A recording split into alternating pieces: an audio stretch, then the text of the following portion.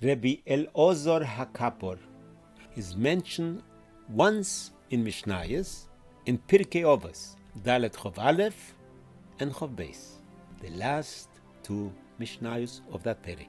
He was in the times of Rabbi Yehuda Nossi, and some say he was Bar Kaporo, or the father, the father of Bar Kaporo. In Perek Rabbi Lezer Miller, he says that a baby that was born without a orlo, a fil on Shabbos, you make hatofas dam bris on Shabbos only according to Beis Shammai. His famous Mishnah in Pirkei, Hakino vehatavo vehakovod moitziin esoodom min ho'oilom hayiludem lomuth vehameithim lehachayois. In Masechta Sanhedrin, the Tzadik Omet Beis in the Sugi of Trias HaMesim, there was an interview on, on Rabbi Meir by the Malka Cleopatra. She told Rabbi Meir she believes in Tchiyas HaMesim, but she just wonders if people are going to get up with clothing or not. To that Rabbi Meir said, Kal v'chomer. Ah, you bury with no clothing, gets rotten and has Tchiyas HaMesim and comes out full of clothing. Tzaddikim that are buried with clothing, Alachas Kama v'Kamo, they're going to get up with clothing. V'chol Yisrael yesh lohem chilek le'olam habo, that means Tchiyas HaMesim.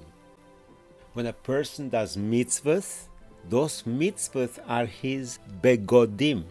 And if the mitzvah is nice and beautified, we will be able to have clothing, of beautiful begodim. And every mitzvah is another piece of jewelry of that beged that we're going to get. The Othit Lobo. In Masechta Megillah, Daf Chof Tes Omed Beis, he says, the Othit Lobo, when Mashiach is going to come, all the Boteknesiyot and Botemidroshos are going to be uprooted from Chutz and transported to Eretz Yisrael. The Kedushas Levi says, a Beis HaKnesses is a place that you daven, and Tfilo is only a mitzvah saseh miderabonon. So if a Beis HaKnesses is going to go to Eretz Yisrael, a house that has a mezuzah in every door, that's a mitzvah, that's a mitzvah saseh min hatoiro. Actually, two mitzvahs saseh per mezuzah.